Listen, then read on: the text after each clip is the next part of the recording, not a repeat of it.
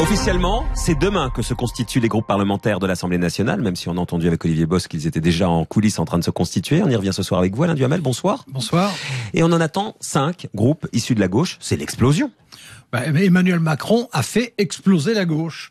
Euh, vous savez, euh, pendant l'ensemble de la Ve République, il y avait en gros euh, deux groupes, un socialiste, un communiste, quelquefois il y avait quelques écologistes, mais enfin c'était surtout ces deux groupes-là qui existaient. Là maintenant, il y a cinq groupes qui sont issus de la gauche. Il y a les mélanchonistes, il y a les communistes, il y a les socialistes, en tout cas ce qu'il en reste, il y a les divers gauches qui vont se constituer demain, et puis il faut pas oublier la République en marche qui a au moins les deux tiers de l'électorat de la gauche de gouvernement et, et, et beaucoup d'élus ou, ou d'élus locaux ou d'élus tout court.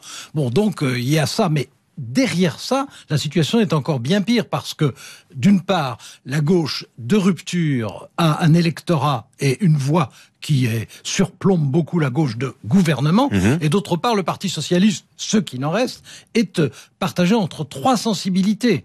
Une sensibilité de ceux qui veulent être dans l'opposition, une sensibilité de ceux qui veulent attendre et voir, une sensibilité de ceux qui sont attirés par Macron. Et à l'intérieur Voilà. du Parti socialiste encore, il y a tentative d'aventure personnelle autour d'un côté d'Anne Hidalgo, d'un autre côté de Benoît Hamon, euh, et enfin des amis d'Arnaud Montebourg. Ça signifie que le Parti socialiste n'a plus de leader, plus de ligne, plus d'idéologie, plus beaucoup d'électeurs. En revanche, il a beaucoup d'ennuis. Et à droite, c'est à peine mieux, Alain, puisqu'il y aura trois groupes au moins, plus les élus du Front National, c'est l'émiettement.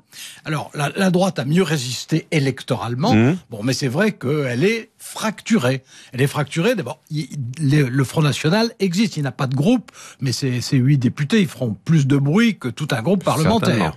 Ensuite, il y a déjà trois groupes qui, qui sont, qui se partagent à droite. Il y a le modem de François Bayrou.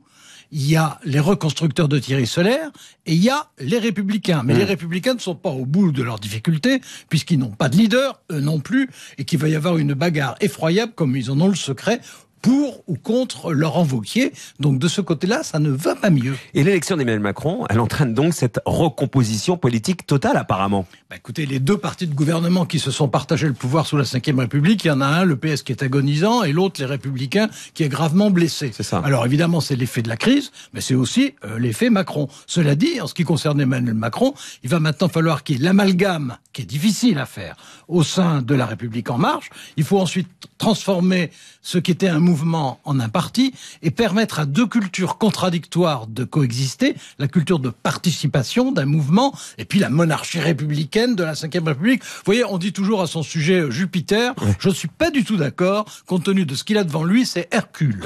Merci Alain et à demain.